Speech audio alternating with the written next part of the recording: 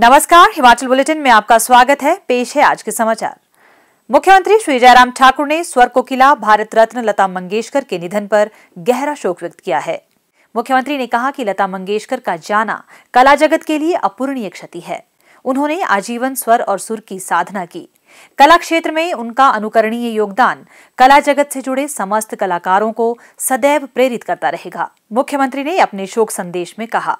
हम सबके लिए बहुत ही दुख का विषय है कि स्वर कोकिला और भारत रत्न लता मंगेशकर जी आज हमारे बीच में नहीं रही।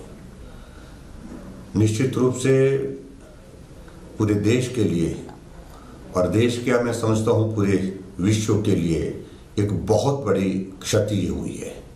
लता मंगेशकर जी का बहुत बड़ा एक योगदान फ़िल्म जगत में जो जितने भी मशहूर गीत हुए हैं और फ़िल्म जगत के अलावा बाकी जितना भी उनका कला के क्षेत्र में एक योगदान रहा है, उसको कभी भी भूला नहीं जा सकता है।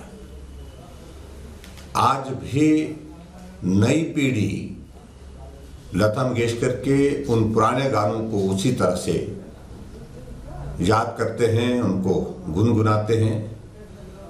और उस दृष्टि से मैं समझता हूँ कि बहुत बड़ी क्षति जो लता मंगेशकर के जाने से हुई है, वो अपूर्णीय क्षति है।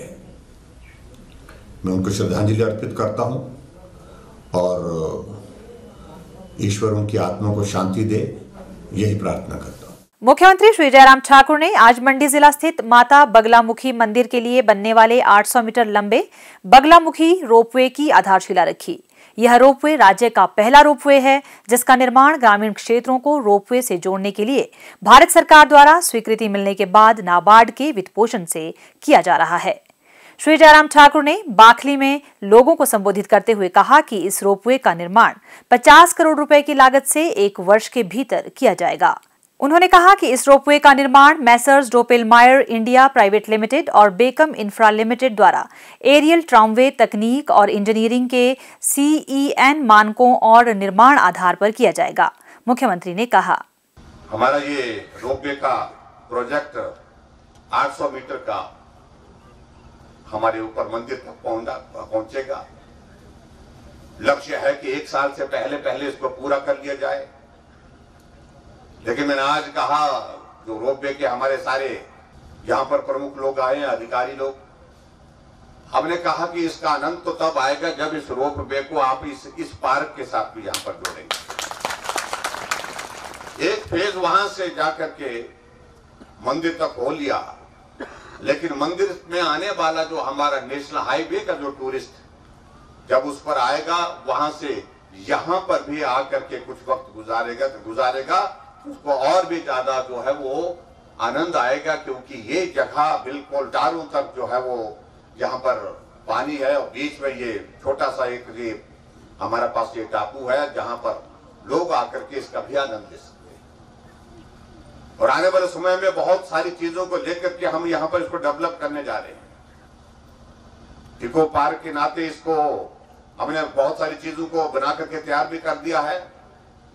और हमने अधिकारियों को कहा कि मार्च के महीने में हम इसका उद्घाटन करेंगे क्योंकि वो जो सामने हमारी एक बिल्डिंग बनने वाली है छोटा सा एक रेस्ट हाउस बनने वाला है उसको भव, उसके भवन को मार्च तक कंप्लीट किया जाए पूर्ण किया जाए ताकि मार्च में उसको हम इसका उद्घाटन करने के बाद टूरिस्ट को खोल सके और यहाँ स्पोर्ट्स एक्टिविटी जो वहाँ वाटर स्पोर्ट्स की एक्टिविटीज़ यहाँ पर हम शुरू कर सके उससे बहुत बड़ा इस इलाके को टूरिज़्म के क्षेत्र में एक एक्सपोजर मिलेगा और आज मुझे इस बात की प्रसन्नता है कि पूरे देश भर का ये नाबार्ड के माध्यम से लगने वाला जिसमें स्टेट गवर्नमेंट का भी कंट्रीब्यूशन होगा, मिल करके हम इसको बना रहे हैं, ये पूरे देश का पहला प्रोजेक्ट है जिस पर नाबार्ड की ओर से उन्होंने कहा कि इस रोपवे के एक हिस्से का निर्माण द्रंग विधानसभा क्षेत्र और दूसरे हिस्से का निर्माण सिराज विधानसभा क्षेत्र में किया जाएगा। मुख्यमंत्री ने कहा कि राज्य सरकार ने केंद्र को वित्त पोषण के लिए चार रोपवे भी national highway logistic management limited को भेजे हैं।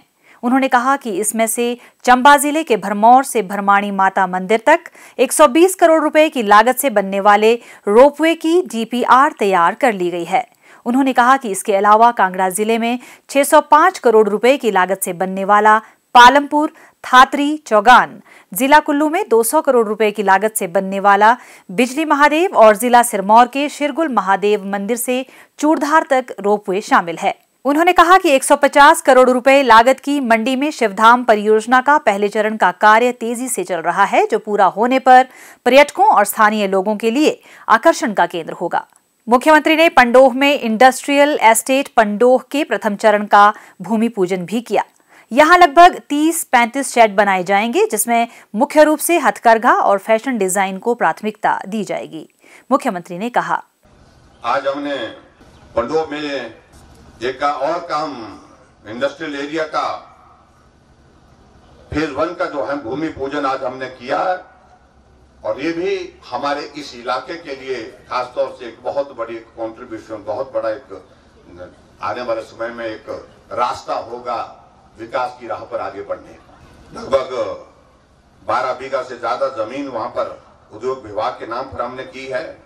और उसके बाद वहाँ पर लगभग 30 से 40 छोटे इंडस्ट्रियल यूनिट्स वहाँ पर हम स्थापित करने की प्लानिंग कर रहे हैं।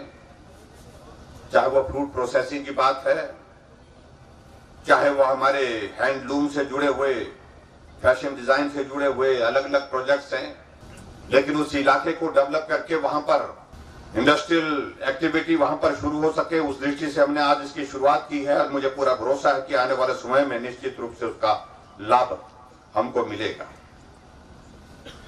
क्योंकि प्राइवेट सेक्टर का इन्वेस्टमेंट में मुझे लगता है कि हिमाचल प्रदेश में डेवलपमेंट को एक बहुत बड़ा सहयोग दे सकता है। और इसलिए हमने सरकार बनने के पश्चात एक प्रयास किया हिमाचल प्रदेश में ग्लोबल इन्वेस्टर्स मीट का बाहर से लोग आए हिमाचल प्रदेश में आकर के यहाँ पर इन्वेस्ट करें ताकि हिमाचल के विकास के लिए वो योगदान दे सके। उस दृष्टि से भी हमने बहुत सारी चीज़ों को लेकर के आज से पहले भी आपके बीच में कहा है। मुझे इस बात की प्रसन्नता है कि उस ग्लोबल इन्वेस्टर मीट में आदरणीय प्रधानमंत्री नरेंद्र मोदी जी भी हमारे बीच में आए। और मोदी जी के आशीर्वाद से आज वो प्रोजेक्ट आगे बढ़ा, साढ़े तेरह हज़ार करोड़ रुपए की ग्राउंड ब्रेकिंग हमने फ़र्स्ट फ़ेज़ में आदरणीय श्री अमित शाह जी के हाथों से करवाई। जगत प्रकाश नड्डा जी हमारे पार्टी के राष्ट्रीय अध्यक्ष जी उस कार्यक्रम में रहे। और दूसरी ग्राउंड ब्रेकिंग अभी हमारे हिमाचल प्रदेश में, हमारी सरकार के चार वर्ष के कार्यकाल में पूरे होने के पश्चात मंडी में हमने कराई, जिसमें अट्ठाईस हज़ार करोड़ रुपए की ग्राउंड ब्रेकिंग की गई। ग्राउंड ब्रेकिंग का मतलब यह है कि काम की शुरुआत की गई। और आने वाले समय में बहुत जल्दी वो प्रोजेक्ट जो है ज़मीन पर दिखेंगे।